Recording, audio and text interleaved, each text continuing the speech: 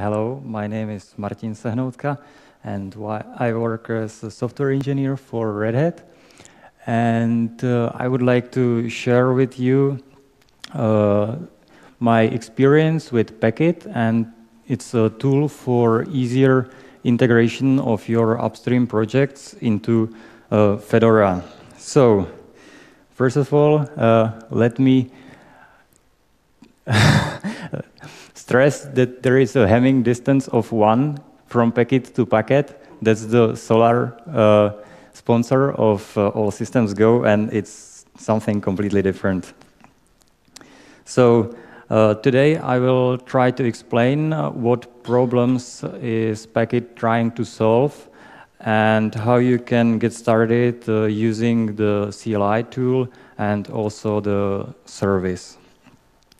So, uh, first of all, let me briefly introduce you uh, into packaging. So, I think you all know that uh, packages are a very popular way to consume software, and uh, I personally uh, almost uh, never install things from upstream except for some, I don't know, nightly compilers or something like this.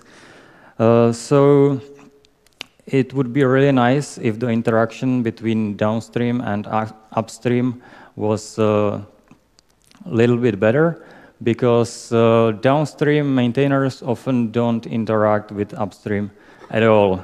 I have this nice example of a software that I used to work with.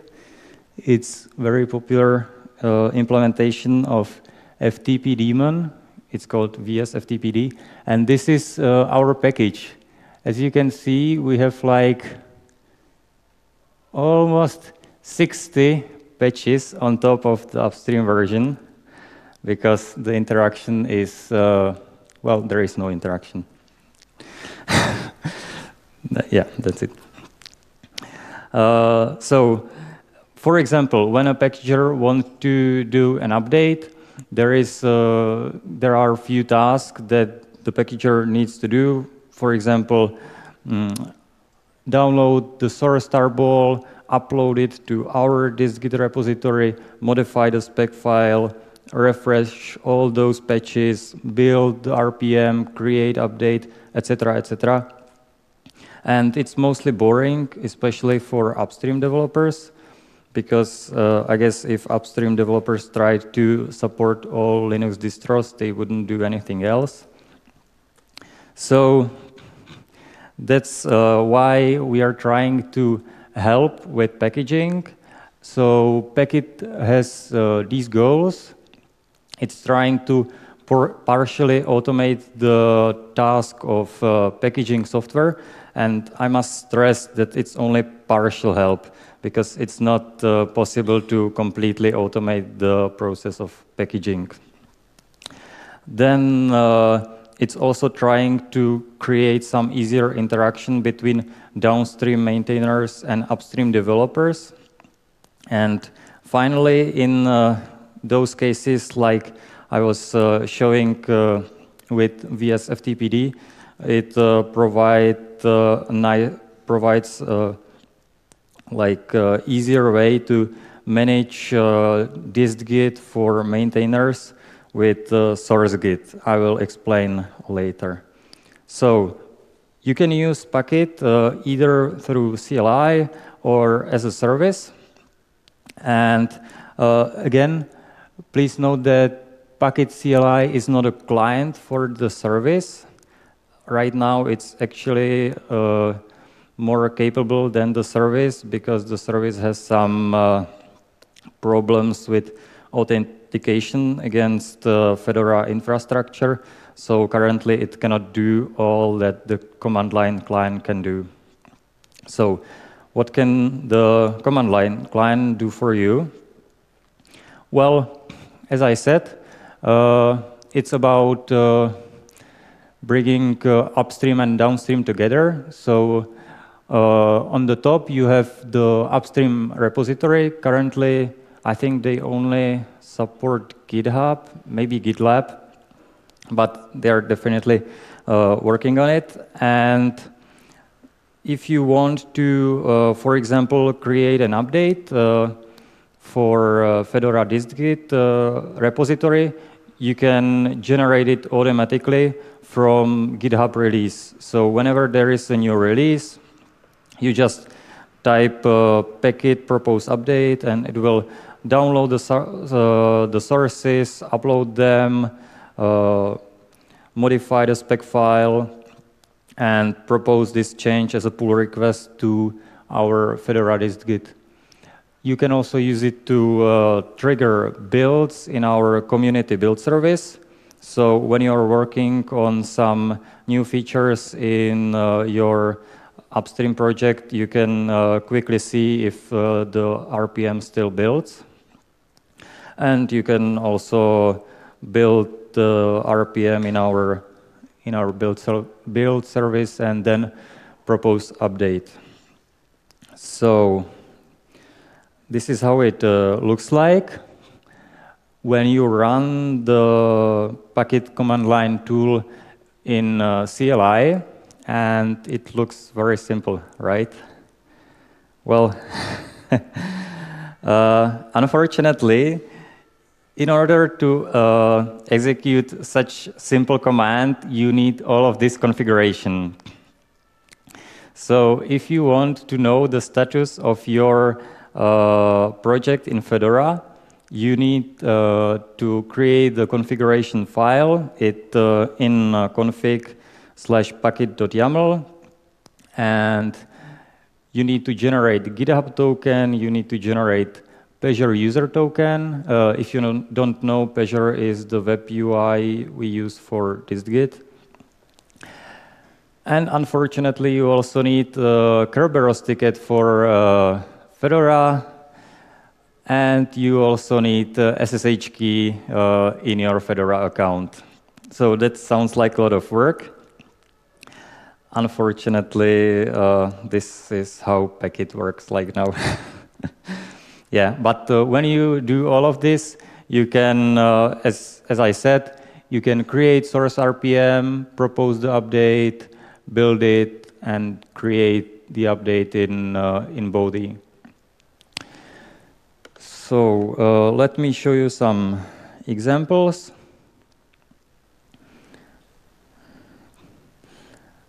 For example, yeah, uh, so this is uh, the this is the distgit repository that is completely maintained by uh, Packit. Oh, sorry. This is uh, our uh, repository that is completely maintained by Packit. And as you can see in pull request,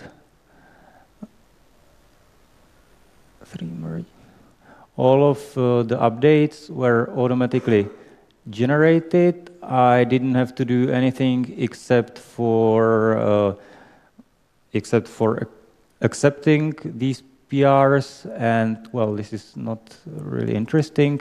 What is interesting is here.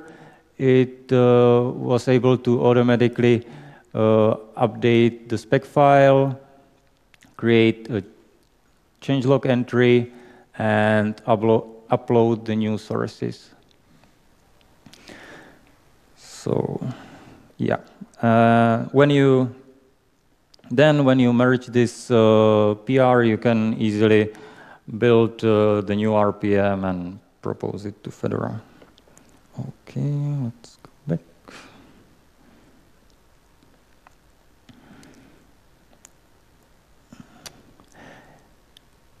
Uh, yes, again, this needs some uh, configuration. So they have this uh, little YAML file in the upstream repository. But even though it's uh, pretty long, I don't think it uh, contains uh, any magic.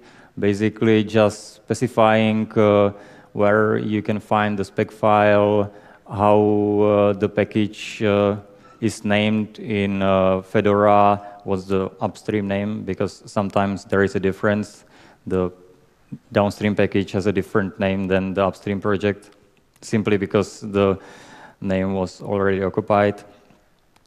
And the rest is just about uh, what uh, branches you want to build, etc. It's nothing, uh, nothing complicated.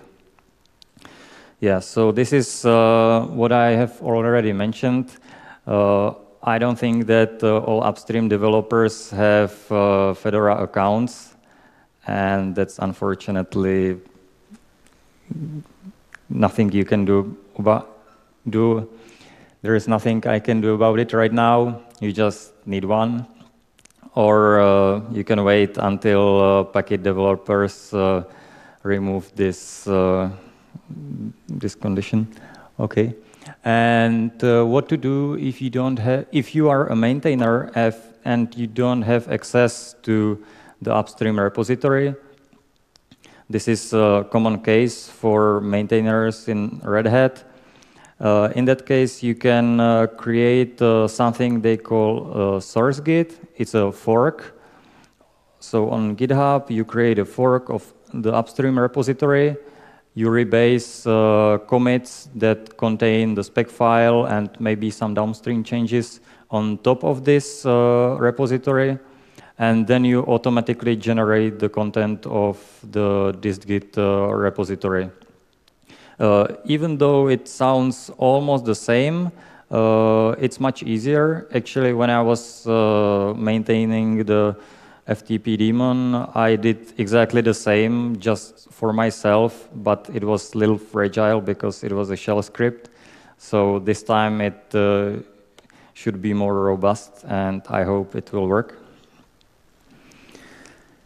And uh, finally, what Packit can do for you, as I said, it's about partial automation. And people often ask me if Packit can generate the spec file for them. And the answer is no because uh, in general case, it's impossible to generate the spec file.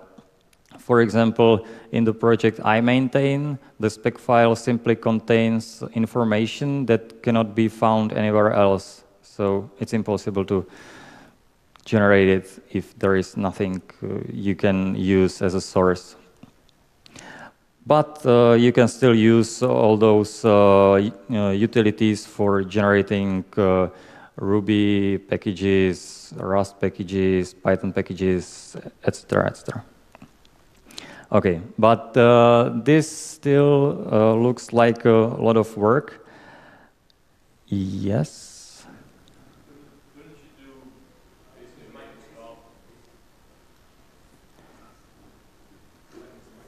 Microphone, please. Yeah.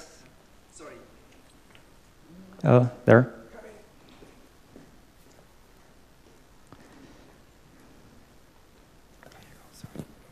Um, theoretically, if they had a make file that had a DESTDIR option, couldn't you just make dir to a temp directory and then figure out what it installed when you did a make install? Yes, in case the project has makefile, it can uh, it should be possible to determine what uh, it installs. Right. But uh, for example, we don't have makefile. We just don't. No, I'm saying if I'm doing it to a, a, a GitHub account, it probably has a makefile. If I do a make install DESTDIR, you could generate a spec file based on the file paths that were installed. Well, that's the, the problem. It doesn't work like this for every project. Like you can have uh, uh, as you have the gem to RPM, Rust to RPM, you could probably have something like make to RPM that would use make files. But for example, the project I work on, we have just setup.py, but setup.py does not contain all the information because it's not uh, supposed to be used as a system-wide installation. So the spec file contains some data that cannot be found anywhere else. So it's pretty complicated to do this for any software project. Yeah, so, but uh, yeah, still it's a lot of, lot of typing in uh, terminal, so can we do better than this? And of course, uh, with cloud, because that's the current answer to anything. Uh, so uh, you can use Packit as a service. It's available on uh, GitHub in the marketplace under continuous integration, and uh, you can install it and then enable it for your repository. It uh, currently has only few features. The first one is built on uh, push. So whenever you create a new pull request in your uh, project and you push to this, uh, this branch, it will trigger a build in our community build service so you can immediately see if the project still at least builds. It looks like this.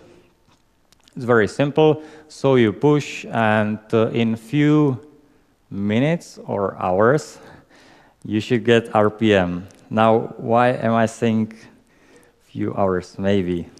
Well, the community build service is sometimes a little busy. This is the task queue. But uh, if you are from some, for example, if you are from US, uh, you are lucky because the peak is usually during the working hours in Europe. So if you work during some other hours, you should be fine.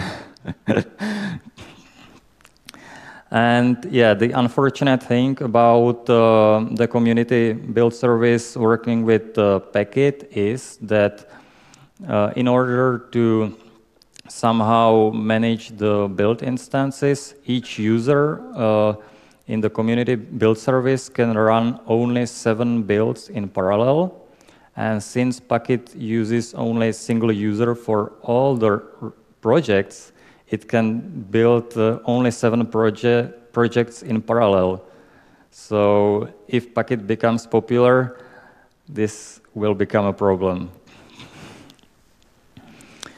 And uh, these are the features that it uh, should have or will have. The first one is the blue. The blue one, it should uh, automatically create uh, the updates as I was uh, showing uh, earlier.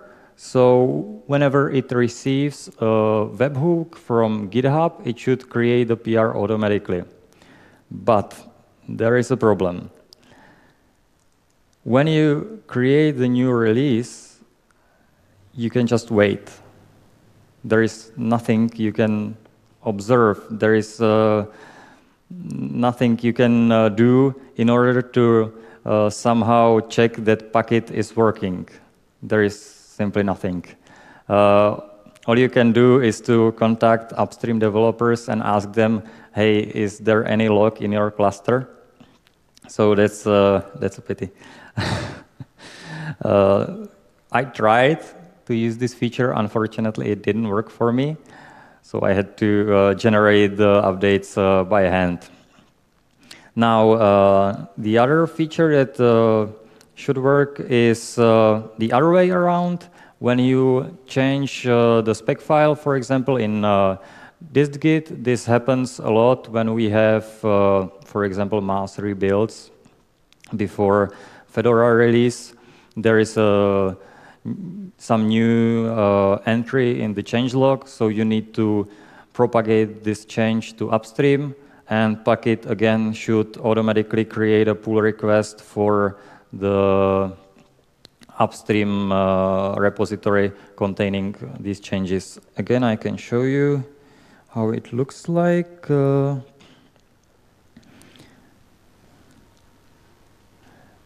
So you can see this is the upstream repository OS build. And uh, when there was a change in uh, Python packaging, rebuild for Python 3.8, Packit automatically generated uh, this pull request uh, on GitHub. So I, can, I could just merge it and uh, the downstream and upstream spec files were synchronized. Okay, so yes, and uh, finally, this is not yet implemented. It should also create the new RPM automatically and propose it as an update. Uh, from what I've heard from the Packit developers, this is currently blocked on the authentication system we use uh, in uh, our Fedora build service and update service, and I hope they are working on it. Okay, this is what I was talking about. And uh, of course, there are still some unresolved questions. So, for example, what to do with uh, RPM changelog. This is something, again, everybody has a different opinion. So there is simple no uh, general way to uh, generate this, the changelog so that everybody is happy. I'm personally happy with uh, one line saying that uh, there is update to the newest uh, upstream version but uh, some maintainers want uh, a list of new features or something like this. So again, something that is uh, very difficult to do in general. Some future plans. So uh, as I've already mentioned during the talk, uh, there are still some uh, problems with current implementation. So we should, or they should uh, mostly stabilize and fix bugs. Uh, I hope uh, they will improve the user experience because, as I said, when you do thing, when you do something and it doesn't work, you have no idea what went wrong. For example, there were failing uh, Copr builds for a few weeks and we had no idea what's wrong and we couldn't do anything about it. So I hope this will get better. And uh, finally, this is something I'm uh, really looking forward. They promised to spin Fedora VM for each Copr build so that when you have the RPM, you can actually run some integration tests because I think, at least for me, that's the point of building the RPM so I can test that it actually still works with the rest of the system. So that would be really, really nice. Finally, uh, the Packit uh, developers, they would like to hear your input. So first of all, is it interesting for you? Then if yes, uh, are you willing to include the packit uh, YAML configuration file in your uh, in your upstream repository and uh, or and are you interested in uh, the information if it's still uh, if it is still possible to build it for Fedora and if it works uh, with the rest of the system. You can use uh, their uh, GitHub issues. I use them a lot. Here you can see the URL, github.com slash packit service, or you can use uh, IRC channel or this uh, email. Yeah, I was a little bit faster than I expected, so thank you, that was it.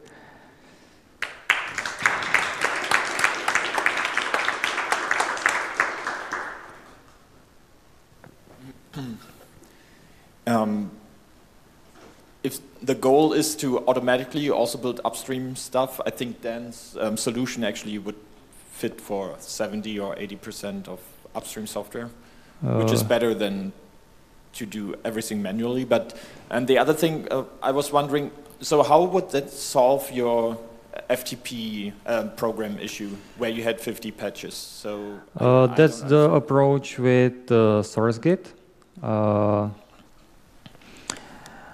You can create a GitHub repository with the sources and uh, you mark the commit that is the upstream release and then on top of it you have all those patches but this time as commits and then you generate the content of this Git repository from this uh, Git repository, standard Git repository. Uh, it's actually easier than. Uh, no uh, automatic pull request is sent to upstream. No, in this case not because upstream uh, releases uh, new versions as tarballs and there is no uh, upstream repository. For projects with a Git repository, oh yeah, I should probably.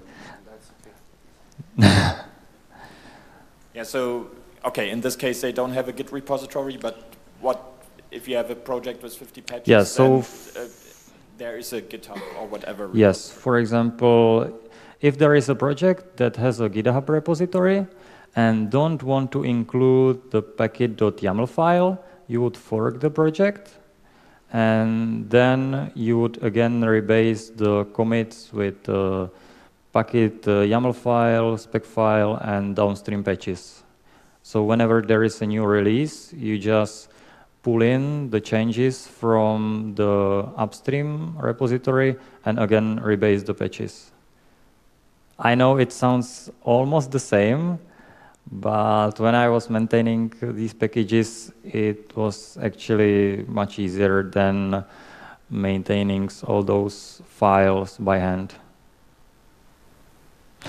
Hi. Yeah, so I wanted to ask, because you mentioned adding a, packit.yaml file, which is necessary, but there's also the spec file, and I wanted to ask whether there are restrictions to the spec file, like, must it be like just one source? Can it have other sources, patches? Because that's, also, that's all going to the upstream repository that's not really pulled from the Fedora side in, in right?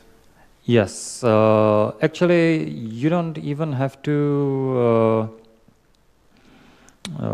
have the spec file in the upstream repository, they have a concept of like uh, actions or hooks. So when they trigger some action, they can uh, run some uh, little script that is written in uh, the YAML file. So you can use curl, for example, to download the spec file from somewhere else. So basically, you don't have to even include it in the upstream repository, but the packit.yaml file is uh, mandatory. And if you don't, if they don't want to include even the YAML file, then you have to fork it and use the source git approach. Okay, two questions. Uh, first of all, about automatic versioning. You said uh, that Packit automatically increases the version, but version of uh, different packages uh, maybe vary. I mean, schema of uh, versioning. So how do you deal if, uh, not, not if, when your uh, Packit fails the versioning? Yes, so this is again complicated question. And again, you can use custom command. For example, we use, uh, or we, we did use a Python script to generate the new version, and Packit would just call this uh, script to generate the version for it, because in general case, you have no idea how to how to automatically generate the new version. So whenever upstream uses some uh, unknown or specific uh, versioning, they can always uh, include their own script to generate the version. Okay, thanks. And the second question, uh, any plans for non-Fedora specs? Non-Fedora specs, uh, very good question. I was wondering about this as well, but I don't think they have uh, any plans uh, right now.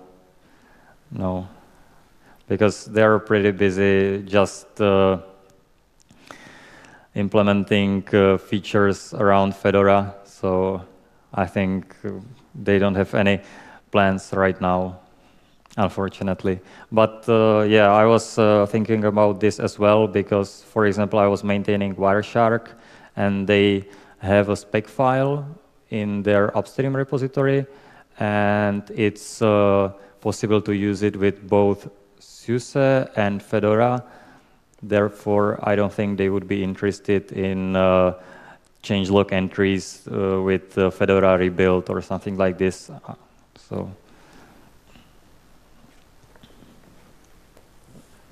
I mean, in the end, there are already a lot of CI systems like uh, Travis or Circle CI or AppVeyor or something like this. So uh, some projects are willing to add even more configurations files for CI stuff, but I think you might be able to look at these files actually and somehow uh, if the automatic stuff works and normally you have built stuff in there, use this to do this um, integration stuff. And second, if you build stuff, you need, of course, to make sure that there are no false positives. So maybe there's some kind of database where you um, log if there was, was a successful build, and then only afterwards, if it breaks in the future, then you report issues, and not uh, before, but uh, to avoid false positives. But uh, yeah, I'm pretty sure there is a lot of uh, efforts like this. Uh, as I said, when I was a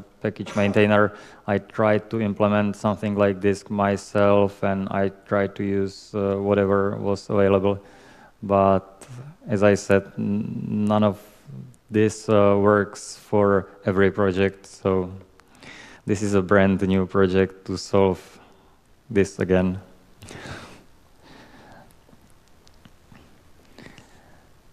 Any other questions? Uh, there is one over there.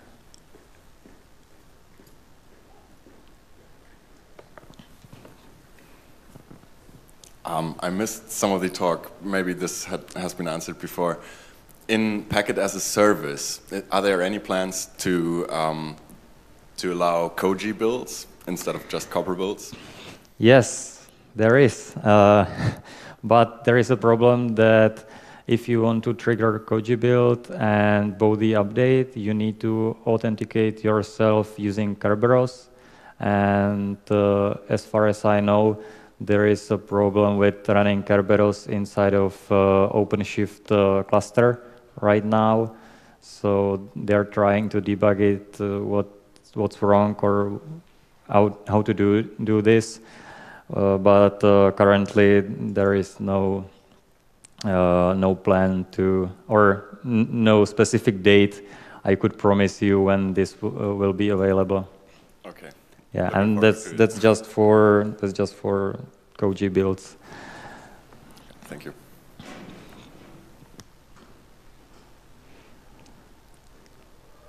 Hmm.